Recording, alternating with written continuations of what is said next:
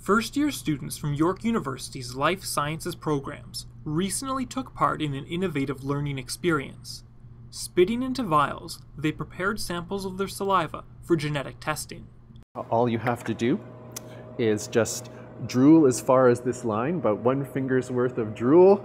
Um, it sounds like not much, but it takes about five minutes to do, especially um, when you've got a camera pointed at you. It does take a while. You'll see the students, some of the students struggling like I was to try to fill this receptacle. This is part of a unique extracurricular learning experience for the students called Science First, one of 40 projects supported this year by York's Academic Innovation Fund. It gives the students from the life sciences a chance to join a learning community, explore sciences from different disciplines, get to know their peers, and have fun. It's important, I think, to get um, this, uh, start the student experience right as soon as they land on campus, or even before. Getting them in, um, engaged in the university culture, getting them engaged in the scientific culture here on campus, and especially this beautiful building.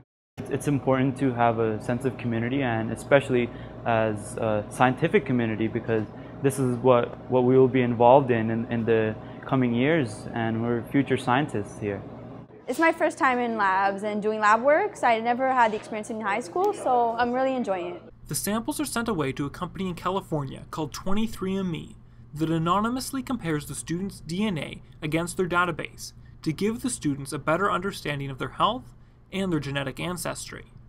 In the idea of personal medicine, which is becoming more and more important every day, um, a student will know whether a certain drug, for example, is um, better or worse for them. You can map a person's migration all the way from Africa. So these mutations are accumulated from the beginning of time um, in human time, hundreds of 100,000 years.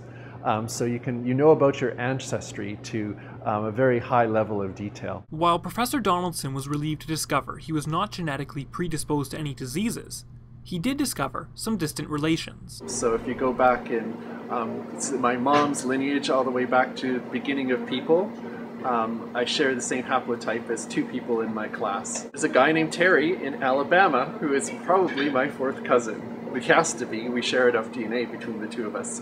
Um, not enough meaning like half a percent, but that's enough.